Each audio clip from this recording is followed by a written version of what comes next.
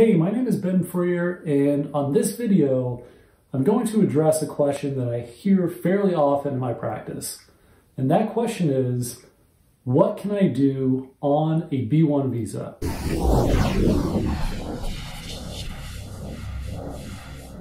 So most of my clients are entrepreneurs who are either looking to start a business in the United States or they're interested in sending employees to work in the United States. Many of these clients can benefit from a B1 visa or ESTA, both of which permit business visitors to conduct limited business activities in the United States.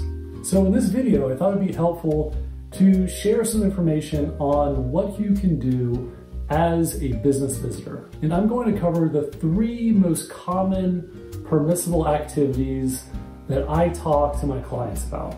First of all, the US State Department acknowledges that this is sort of a gray area. Right in the Foreign Affairs Manual, which is sort of a guidebook for State Department employees, it says it can be difficult to distinguish between appropriate B1 business activities and activities that constitute skilled or unskilled labor in the United States. So I appreciate this acknowledgement from the State Department, and I also appreciate the fact they go on to list a number of different types of permissible activities in the Foreign Affairs Manual. So by looking at these activities, you can see what they do not consider to be skilled or unskilled labor. Here are some, but not all, of the permissible activities that entrepreneurs can engage in as a business visitor as listed in the Foreign Affairs Manual. First of all, you can engage in commercial transactions which do not involve gainful employment in the United States. So there's a well-known case that provides a nice illustration of what would be considered a permissible commercial transaction.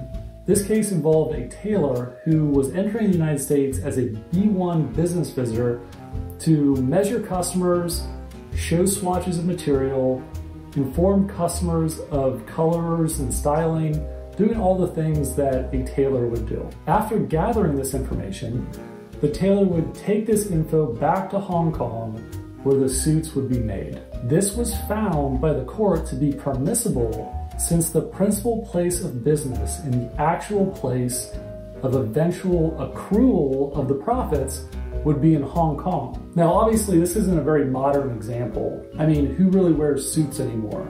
So a modern example of this might involve a software company that is based in Bulgaria. Everything is developed there. A business visitor sent by that company could theoretically come to the United States to speak with prospective customers and to do demos, etc.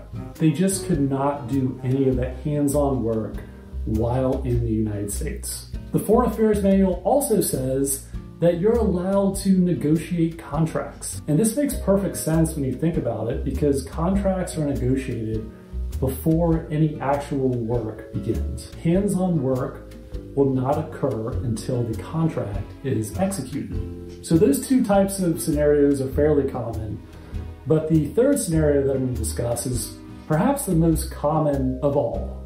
The Foreign Affairs Manual says that you are allowed to consult with business associates as a business visitor. Now, this sounds incredibly broad, but let me give you an example of how this may come up.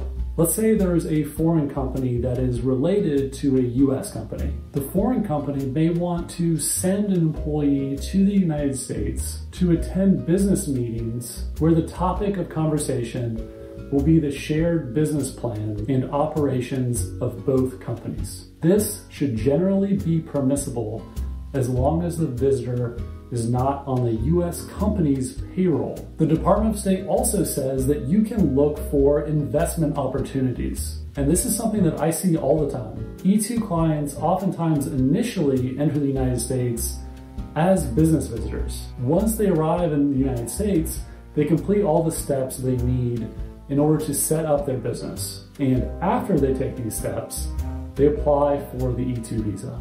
This is acceptable as long as they do not start to actively manage the business before they have E2 status. So when you think of all these examples, you see a general theme start to emerge. hands-on work is absolutely not allowed, but preparing for work is generally okay. Now, there are loads of other more obscure scenarios that are mentioned in the Foreign Affairs Manual, but the activities that I discuss on this video are the types of activities that I see most often in this context.